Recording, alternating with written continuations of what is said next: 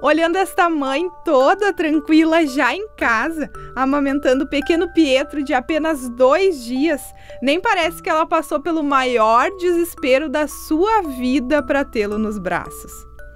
falava para minha prima, eu não vou conseguir chegar na maternidade, eu não vou, ela não, aguenta mais um pouco. Aí eu pedi para ela tirar minha calcinha e o Pietro veio. Dentro do carro. Dentro do carro. A Fernanda foi o anjo que saiu de Cachoeira do Sul, onde mora e trabalha, para tirar férias em Florianópolis, cidade da Tainá. Na verdade, eu botei a mão e achei que era a cabeça. Daí minha prima não estava deixando eu olhar para mim não ficar assustada, né? Aí quando ela viu, ele já estava com o pé para fora. Aí ele ficou com, com a cabeça trancada. Aí foi da onde a Fernanda veio e ajudou a gente a tirar ele.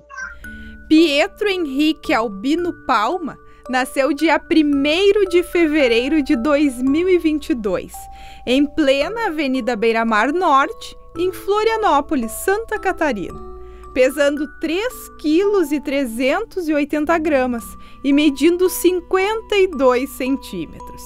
Sua parteira foi a cachoeirense Fernanda Quevedo Alves.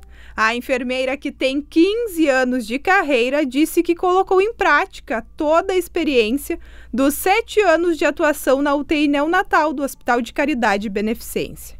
Agora, ela vai compartilhar esta experiência inesquecível na sala de aula para os alunos do curso de enfermagem da UBRA. Na terça-feira de manhã, fazendo uma caminhada na Beira-Mar Norte, vi que um carro adentrou os canteiros da Beira-Mar Norte. E aí eu comentei com meu namorado, vamos lá ajudar, porque eu acho que tem alguém passando mal e não estão conseguindo tirar do carro. Quando eu cheguei no carro, era uma moça em trabalho de parto, né, em período expulsivo, como a gente fala na área da saúde, já com as pernas do bebê para fora, o que já é difícil porque era um bebê pélvico podálico, né? O bebezinho primeiro nasce a cabeça, nesse estava o contrário, estava as perninhas para fora. Então eu tive aqueles segundos que tu pensa, e agora eu tenho que fazer alguma coisa, né? Primeira coisa eu pensei, tem luvas, falei para o Uber, né, que ela estava num motorista de aplicativo Uber no carro, e aí ela disse não. Eu estava de top, tirei minha camiseta e tentei auxiliando nas manobras para o nascimento do bebê. Ela gritava muito, estava desesperada, queria que ajudasse, muita dor, quase desmaiando, sem forças. Então eu pedi para o primo me ajudar um pouco nas manobras para ajudar ela a fazer força. E teve o nascimento do bebê. Quando o bebezinho saiu, ele não chorou, estava branquinho, não tinha estímulo de choro, de movimento. Então eu tive que auxiliar nas manobras, né, de estímulo tátil que a gente tenta primeiro, não tinha como verificar a frequência cardíaca dele. Então mesmo com estímulo tátil ele não chorou.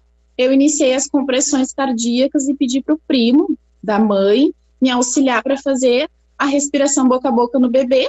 E o meu pensamento era: meu Deus, chega os bombeiros, chega o SAMU, essa criança não vai responder, né? De desespero também, mas na hora a gente não tem muito tempo para pensar quando ele chorou, né, e deu o primeiro suspiro, foi uma emoção muito grande. Logo que ele deu o primeiro choro mais forte, os bombeiros já estavam chegando, então, para levar a mãe e o bebê para o hospital. Quero agradecer ela por ter salvado a vida do meu filho e a minha também, porque eu também podia ter acontecido alguma coisa comigo, né? Espero que Deus abençoe ela e que tudo dê certo na vida dela.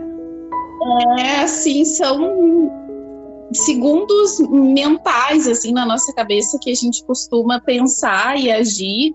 E eu acho importante ressaltar, né, que na nossa profissão, a enfermagem não tem habilitação para fazer esse tipo de parto, né, pélvico, podálico, mas uma situação de emergência, assim, eu não tinha como não fazer nada, né, tinha que auxiliar aquela mãe e o bebê fico muito feliz dessa repercussão também e de ter tido um final feliz que a gente possa compartilhar essa experiência. Né? E uma situação que eu vou, levar, vou lembrar sempre, assim, vou ter muito para contar para os alunos, eu falei para eles até quando chegar aí, né? Porque é uma situação que tinha tudo para dar errado, para ser muito triste, uma tragédia, né? E graças a Deus eu fico muito feliz. Me sinto abençoada, assim, que deu tudo certo para a mãe e para o bebê.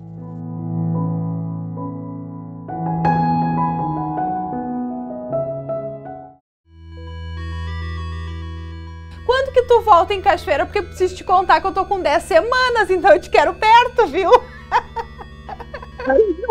Segunda-feira já tô aí. Ufa! Viu? Coisa boa. Agora eu tô mais tranquila. Eu brinquei aqui na redação. Eu disse: eu quero ela aqui em Cachoeira. Aham, pode deixar.